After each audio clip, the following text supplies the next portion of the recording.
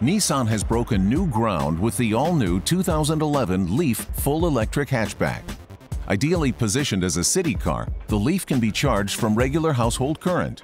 Fully electric doesn't mean having to give up on daily creature comforts. The five-passenger Leaf comes with built-in navigation, complete with charging stations identified. The Leaf has no engine. Power is stored in a lithium-ion battery pack and is routed to a 107 horsepower electric motor, driving the front wheels. There are three levels of charging this system, ranging from an overnight charge with a household outlet to 30 minutes with a specialized charging station now being installed in several major cities.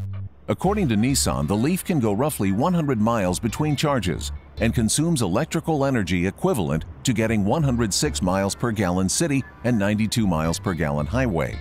The Leaf is backed by a 5-year 60,000-mile powertrain warranty. The Leaf is a first for Nissan and for the industry as a whole. There have been electric cars, but never with the potential staying power as the 2011 Nissan Leaf.